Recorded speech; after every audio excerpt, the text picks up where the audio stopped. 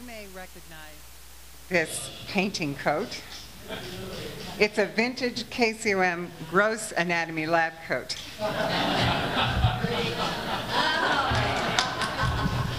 Just like this coat, osteopathic medicine, my life and my art have been intertwined. I was delivered into the world by a DO.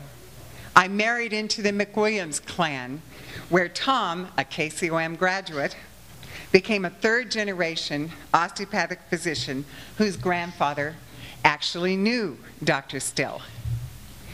It was an amazing opportunity and an honor to create a painting for AT Still University and now to share the healing touch with you here at KCOM with full-size Giclée prints.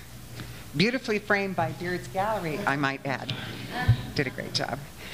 In researching Dr. Still, with help from the AT Still Museum Director, Jason Haxton, I was provided old photographs of Dr. Still, as well as finding out some interesting things about him, such as he was six feet tall and had plaster casts made of his hands.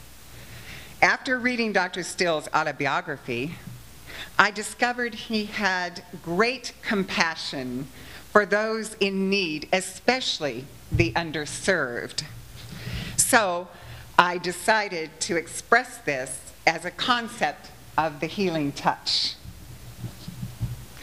I analyzed Dr. Still's face from old photographs.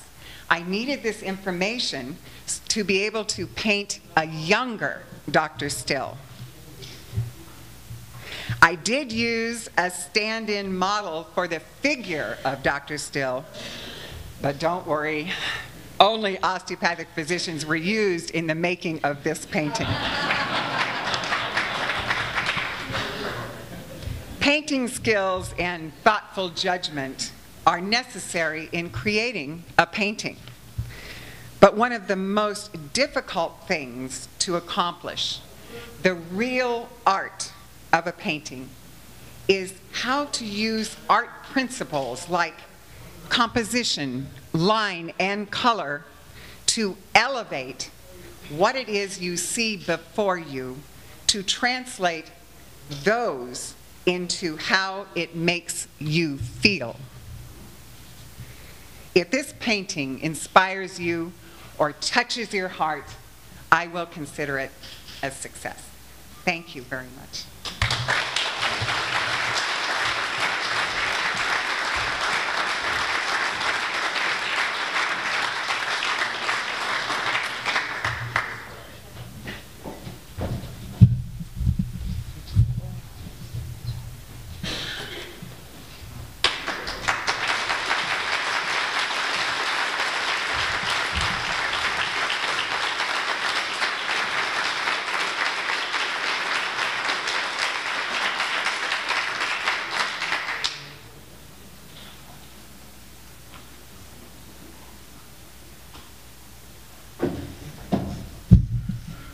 It is beautiful and stunning, and to think that we have it on both ends of campus, uh, DeLoss, thank you so much for your energy and work.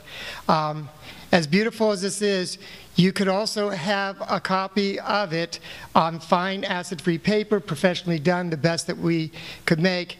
And the funding through Dr. McWilliams and DeLoss would go to help students just like Dr. Still with health concerns. And so for a minimum $50 donation, you could have a print and have it signed. So if you're interested, we'd ask you to stay and uh, meet the artist and have that done. It'll also be lunchtime now, so for those of you, and there'll be pictures being taken of alumni. So why don't you take care of those activities now. Thank you again and enjoy the painting.